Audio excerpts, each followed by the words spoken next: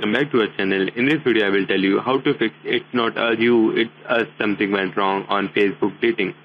If you are having this error then this video provides you with step-by-step -step guide to solve the problem. So the first solution is check age restriction. Ensure that the fact you are 18 or 18 above, the Google dating guidelines do not allow people below the 18 to give access to Facebook dating. Solution 2. Active Facebook account the Facebook guidelines require you to active Facebook account for at least 30 days to use Facebook dating. Ensure that you are acting like the Facebook account to be enabled to use Facebook dating. Solution 3. Check Facebook dating availability in your country.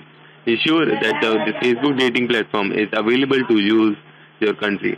Check the list of countries where the Facebook dating is available and ensure that the Facebook is dating is available in your country. If your country is not in the list, then you are not able to use Facebook dating. Solution 4. Follow Facebook community guidelines. Standards. Ensure that you adhere to the Facebook community standards and do not violate them. These standards draw boundary on which you allow and what is not allowed on the app. These standards are set up and ensure that the security and availability of the safe space for everyone on the app or site.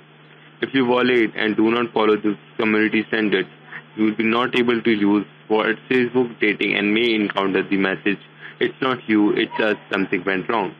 Solution 5. Contact Facebook Help Center. If you believe your account is disabled by mistake, consider contacting to the Facebook Help Center. You can fill out a form specifying your details such as name, email ID and Facebook team will consider restoring your account after filling out the form. They will provide you with step-by-step solution and will disable your account if possible. So that's for today guys. I hope you like the video. Please don't forget to hit the subscribe and like button. Thank you for watching.